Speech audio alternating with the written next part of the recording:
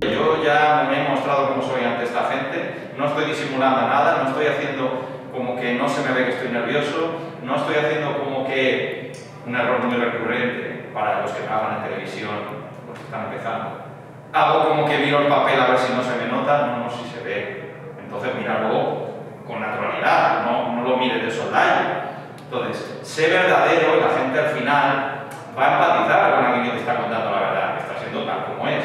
Yo, yo puedo decir que estoy contento, pero si no digo que estoy contento acompañado de un gesto, de una, de una mueca y de un tono, no es creíble. Todo lo que está preparado es una red de, una red de seguridad que luego te habilita oye, a improvisar lo que sea, o a dejarte llevar por el momento, a sentir una determinada situación, una necesidad a lo mejor de dar un giro.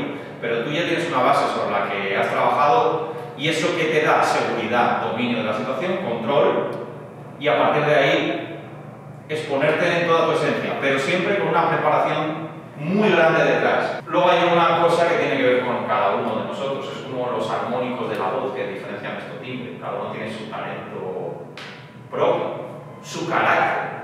Eh, y como tal debemos exponerlo. Eh, hay gente que es más sensible, hay gente que es más asertiva, más categórica, eh, hay gente que te lleva más de una manera que de otra.